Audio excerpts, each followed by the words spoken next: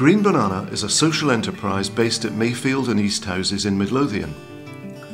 Working with film and animation, Green Banana has a strong community focus, bringing new opportunities to the area, channeling profits back to new projects, and supporting youth work programmes.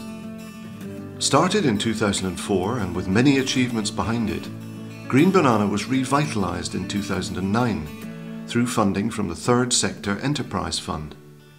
It now has new staff, new services, and a renewed drive to succeed. Green Banana specialises in film production for the public and private sector.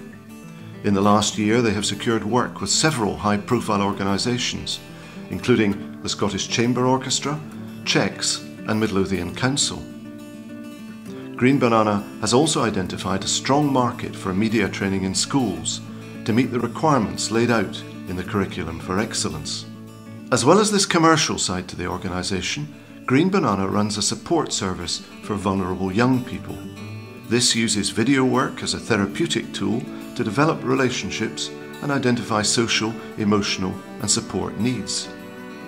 They also hold regular film and animation workshops in the area and run a club for young people with an interest in film to develop their skills and make use of professional equipment and guidance. Green Banana not only has a strong community focus, but we also have a commitment towards a high quality product. We're really proud of all that we've achieved within this last year, and we're looking forward to a bigger and brighter future.